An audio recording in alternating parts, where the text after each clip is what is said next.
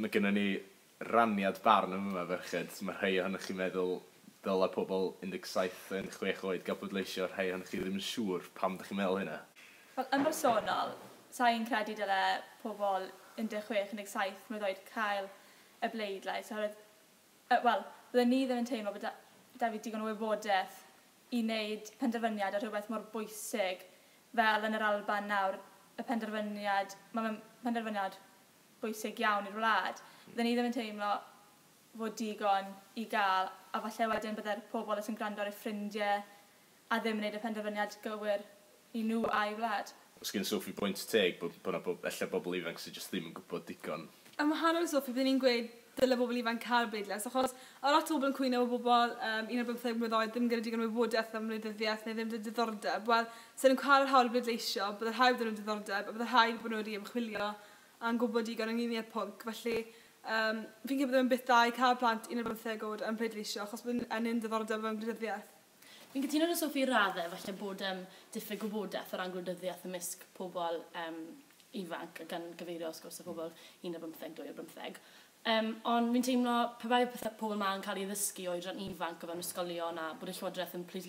pwysleisio pa mor bwysig yw e, bod ein pobl ifanc ni yn, yn, yn, yn derbyn y gwybodaeth yma a'n cael ei, cael ei ddysgu o oedran ifanc, fi'n teimlo byddai hwnna yn sicr yn enyn diddordeb pobl yn um, wleidyddiaeth yn gyffredinol ac yna yn galluogi pobl i gael rhyw fath o effaith ar eu dyfodol nhw. Chos pan chi'n un ar bymtheg, um, dau ar bymtheg, mae'ch ma, ma, ma dyfodol chi o'ch blaen chi a mae'n bwysig bod chi rhyw fath o um, o, fa o fanbwn i um, sefyllfa wlad dros y blynyddoedd sydd i ddod. Felly fi'n edrych na rhaid bleidlais yn syth. Fi'n teimlo bod e'n mwy pwysig bod ni'n addysgu bobl ifanc o oedran ifanc. dechrau ysgol uwchradd bod nhw'n cael gwersi grydyniaeth yn yr ysgol neu bod y llywodraeth yn siarad neu bod, bod pobl yn addysgu a'n dod i ddeall a, a bod llywodraeth a bod gwleidyddiaeth yn rhywbeth mwy um, cyffredin o fewn bywydau pobl ifanc a felly yn rhoi cyfle i bobl i ddeall cyn cael y cyfle i bleidleisio. Ie, yeah, fi'n siŵr bod hwnna newid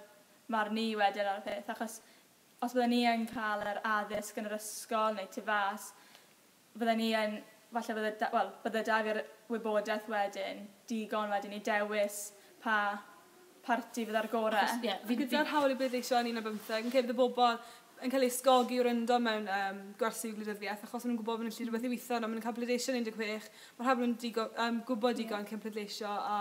um, yn ysgogi diddordeb yn gwleidyddiaeth. Fi'n credu bod y teulu i'r adeg yn cytuno bod yn bwysig gyntaf yn addysgu ac yna'n rhoi'r cyfle i bobl i bleisio yn, yeah. yn un o'r bwynthau gwleidyddiaeth. Dwi'n bersonol ar diddordeb yn gwleidyddiaeth, ond dwi'n teimlo bod y fi digon o wybodaeth i seilio barn yn hunan nawr ar bleidlais, a mae'n rhywun sydd â diddordeb, byddwn ni ddim yn licio gweld rhywun byddai ddim â diddordeb. A i tegeth ma Sylwan yn gweud, um,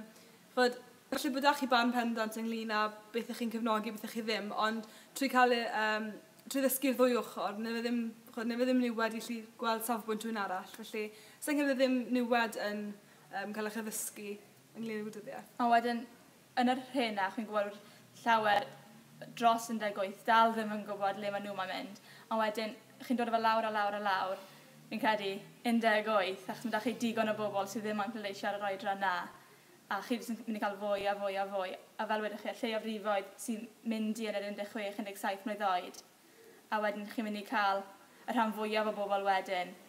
sydd ddim yn mynd i, sy'n cael ei undegwydd. Ie, yeah, fi'n teimlo, mae ma cael y fraint, mae ma cael bleidlais o'n fraint, a os ni'n mynd i symud y bleidlais lawr i oedran y fancach, mae rhaid sicrhau bod pobl yn hyddiannol o'r fraint na, bod nhw'n deall digon amdano fe i gynnig eu, sain, eu barn nhw ar rhywbeth sy'n mor bwysig o fewn llywodraeth a o fewn gwleidyddiaeth Cymru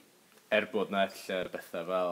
mae ma pobl ifanc yn gallu neud yn oedd nhw'n 16 yn barod, so chi'n gallu bod yn talu trethu yn barod a hyn yn mynd i ryfel, pethau mawr fel na. Ie, yeah, wrth gwrs. Ond, beth sy'n be sy boen yw bod ni lot o benderfyniadau mawr i wneud tra ni'n ar bymtheg a andrau ar bymtheg, a bod falle ddim dyn ni'n digon o um, input arna i roi rhyw fath o'n ein ond chi'n gobeithio i raddau bod eich barn chi'n cael eich cael ei um, siarad dros pobl sy'n hyn na chi. Ond efo um, aelodau o bod bobl ifanc sydd yn 11 mlynedd yn gallu mewn i'r sirfal yn cymeryd rhan mewn gweithgareddau sydd yn um,